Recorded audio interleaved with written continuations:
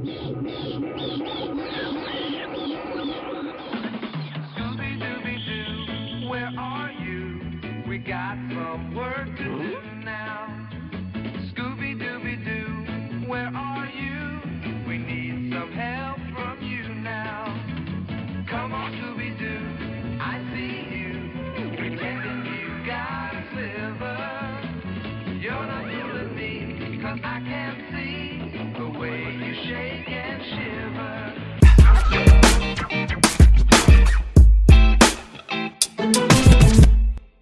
So it's the morning after the the Irish wedding, the 50th wedding anniversary.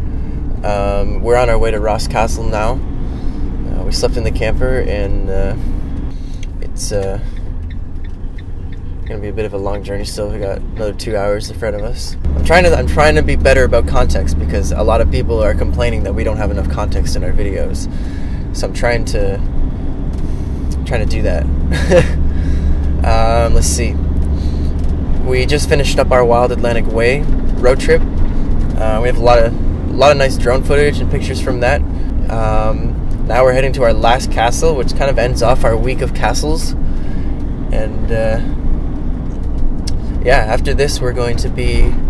Well, the plan was to head back to Dublin because we have to return the camper van for a few days, and then we wanted to stay in Dublin for St. Patty's Day, but. We can't find anywhere to stay in this. Anywhere not even close to dublin. Not even like take the dart for an hour and there's nowhere. Not unless we want to spend a, our entire europe budget on just those five days. So we spent uh, we spent a few days now looking um, had a lot of trouble and last night we we couldn't find anything. Uh, it's not for three people. So looks like at this point we're going to be branching off for those couple days me and Alfred are going to be in Limerick. Um, I think David is going to Londonderry to meet a girl. The, the first of any of us to actually meet a girl on this trip. Actually, I already did, sort of.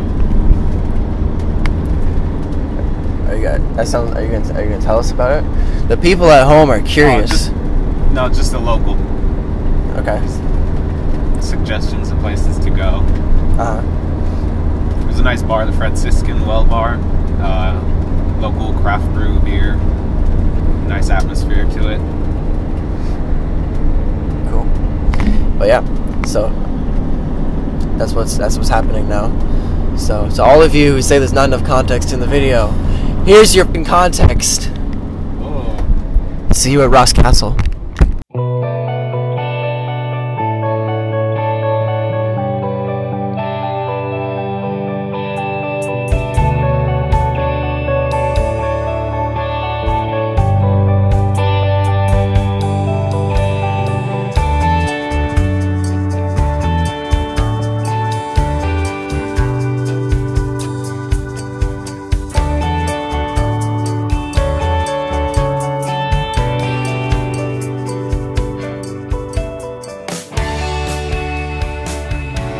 So, as I was saying, there's a secret bookshelf here, and this is it. You can't even know what's through here unless you know the secret. The store handle opens, and that happens. Let there be light. So my name is Richard, Richard Moore, and uh, I live in County Cavan in Ireland, and we're here in Ross Castle, which was built approximately 500 years ago. Ross Castle would have been built as a defensive, strategic military building placed on the landscape, very much as a, um, a statement of Anglo-Norman rule in its day. So building a castle on the edge of the Pale, as this was known as the edge of the Pale, because beyond the Pale, the Anglo-Norman rule didn't exist. And you had the O'Reilly family, the far side of the lake, and they refused to be subjugated by the Anglo-Normans.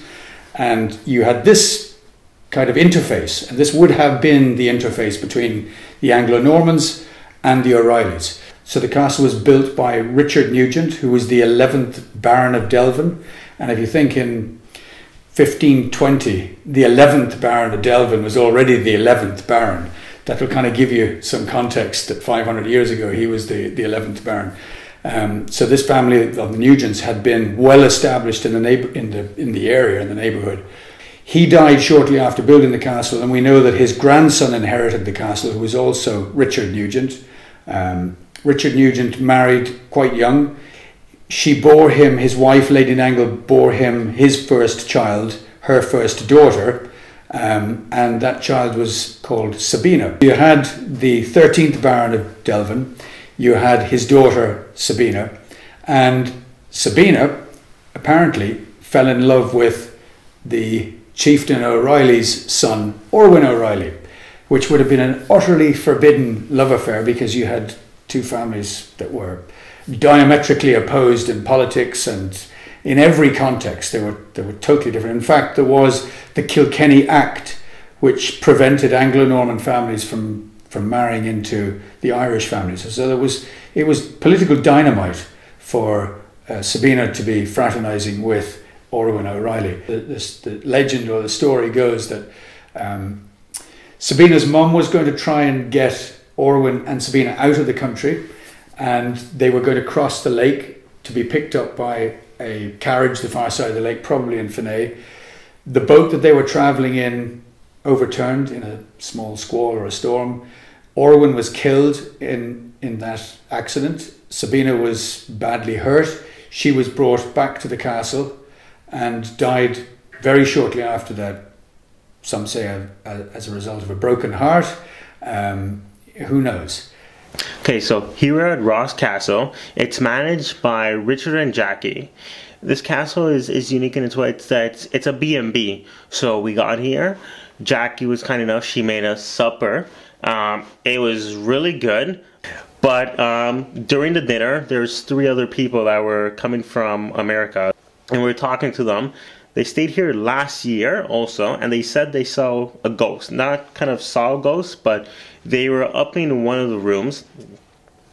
The um, the husband closed the door, and then he heard he heard the door close, and then he also heard the door open again and just open up. And I was like, "What?" But then we were talking, and Ryan, as the nut job he is, he started going in even more, talking about some instruments. And then the husband was like, "Yeah, I also have some of the instruments here." So Ryan, Ryan went, "Oh, whack job, X File, me, X File here on here is like, we gotta record. uh, We got cameras, we got GoPros, we got gimbals, we got mics, we got everything. You got your instrument. We're gonna find some ghosts tonight." And I'm like. I don't want to be possessed tonight. I prefer not to be possessed before I sleep. That's a rule of thumb for me. Don't be possessed before you sleep. But anyways, we're gonna be going ghost hunting, so it's gonna be pretty cool, pretty scary, and I already have my priest on speed dial, so that's gonna be good. All right. Uh, my name is AJ Reardon. My wife, Crystal Reardon. We're at Ross Castle in County Meath in Ireland. We're going to be ghost hunting tonight.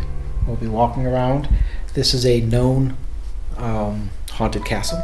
We were here a year ago. It is uh, the 15th of March, 2017. We were here a year ago and had a small ghost encounter. We're hoping to find something like that again. We have with us an REM meter, good friend of ours, Shelley Winslow. Winslow from Chesapeake, Virginia, which is where we're from, lent this to us for the evening, um, and we're gonna go hunt some ghosts. Sabina, are you here? Are you in the room with us? Were you here a year ago? Do you know it's time?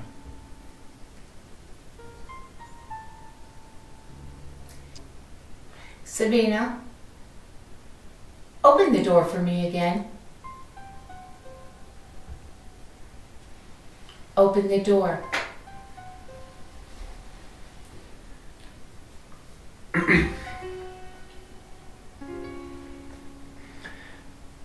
A lot of people don't believe you're real, Sabina. Why don't you prove us wrong?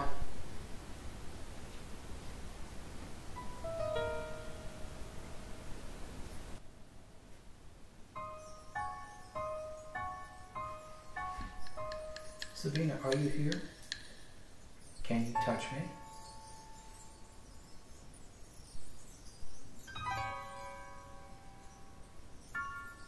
Touching me?